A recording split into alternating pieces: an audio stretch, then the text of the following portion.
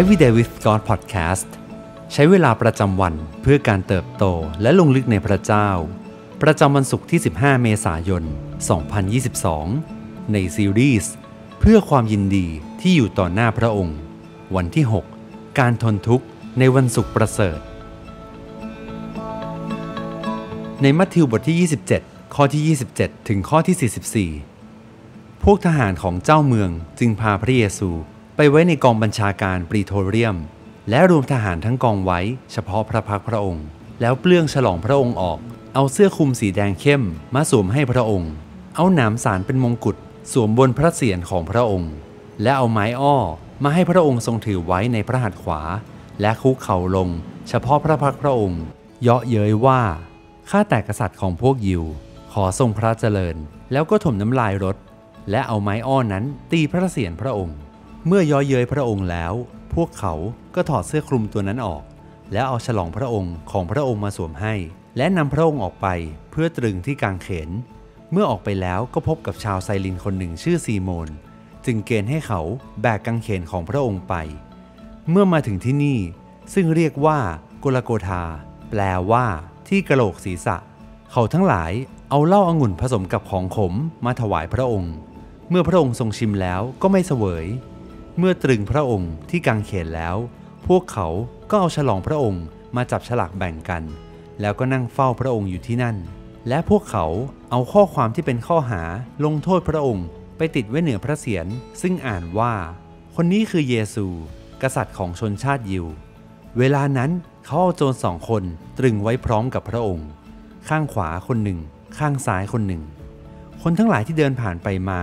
พูดหมิ่นประมาทพระองค์ สั่นศีรษะเยาะเย้ยว่า เจ้าเป็นคนที่จะทำลายพระวิหาร แล้วสร้างขึ้นใหม่ภายในสามวันนี่นา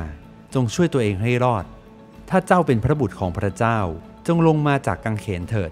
พวกหัวหน้าปุโรหิต กับพวกธรรมาจารย์ และพวกผู้ใหญ่ก็เย้อเย้ยพระองค์เหมือนกันว่า เขาช่วยคนอื่นให้รอดได้ แต่ช่วยตัวเองไม่ได้ เขาเป็นกษัตริย์ของชนชาติอิสราเอล ให้เขาลงมาจากกังเขนเดี๋ยวนี้เถิด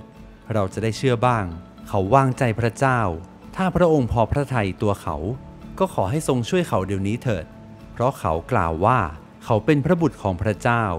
แม้แต่โจรสองคนที่ถูกตรึงพร้อมกับพระองค์ ก็ด่าว่าพระองค์ด้วย ก่อนการประหารที่กังเขน พระเยซูทรงถูกเคี่ยนตีทหารโรมันถอดเสื้อผ้าของพระเยซู และมัดพระองค์ไว้กับเสา พวกทหารฟาดพระเยซูด้วยแส้สามฉาก ที่ปลายแส้มีตะขอทำจากกระดูกสัตว์ และเศษเหล็กฝังอยู่ การเคี่ยนและการโบยตีนั้นมีขึ้นเพื่อให้นักโทษอ่อนแรง ดังนั้นเมื่อพวกเขาถูกตรึงกางเขน นักโทษก็จะเสียชีวิตได้เร็วขึ้น การเคี่ยนตีนั้นโหดร้ายและรุนแรง จนอาจทำให้ผิวหนังและเนื้อฉีกขาด เป็นแผลจนเห็นกระดูก นักโทษหลายคนจึงเสียชีวิตก่อนที่จะไปถึงกางเขนหรือลานประหารเสียอีก มีหลายคนถึงขั้นเป็นอัมพาตและผู้ที่ยังคงสติไว้ได้ก็มีเพียงน้อยนิด หลังจากที่ทรงถูกเคี่ยนตี พระเยซูก็ทรงพบกับการดูถูกเหยียดหยาม พวกทหารต่างล้อเลียน และหยามเกียรติพระบุตรของพระเจ้า พระผู้สร้าง พระเยซูทรงเหนื่อยล้าและอ่อนแรงจากการทรมาน จนแบกกางเขนของพระองค์ไม่ได้ ขณะที่ดำเนินไปยังโกลโกธาชีวิตของพระองค์นั้นก็เกือบจะถึงขีดจำกัดแล้ว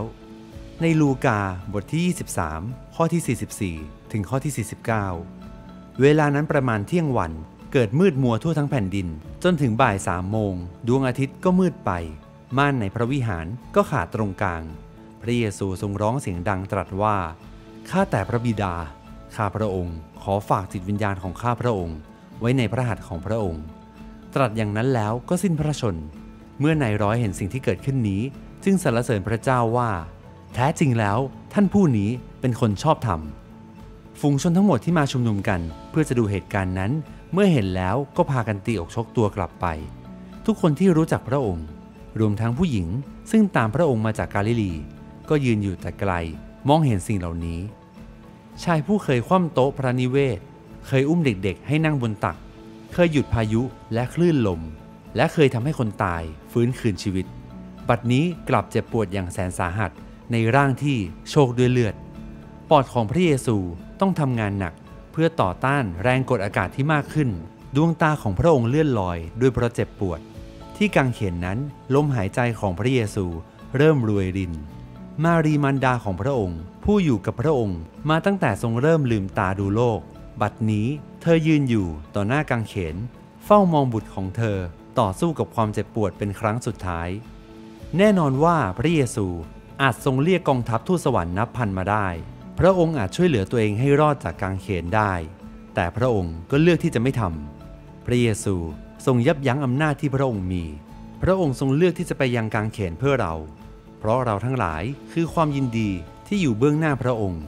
พระเยซูทรงยอมตายที่กางเขน ก็เพราะพระองค์ทรงคิดถึงเรา สิ่งที่ต้องใคร่ครวญในวันนี้สำหรับพระเยซูแล้ว เราทั้งหลายคือความยินดีของพระองค์ แล้วสำหรับตัวเราอะไรคือความยินดีที่เรายอมสละได้แม้กระทั่งชีวิต ให้เราอธิษฐานด้วยกัน พระเจ้าที่รัก เราขอบคุณสำหรับความรักอันยิ่งใหญ่ ความรักที่เกินเข้าใจ และไม่มีใครเหมือน เราขอบคุณสำหรับชีวิตของพระองค์ที่ยอมตายเพื่อคนบาปอย่างเรา เพื่อเราทั้งหลายจะได้กลับมาสู่อ้อมกอดของพระองค์ เราขอบคุณพระเยซู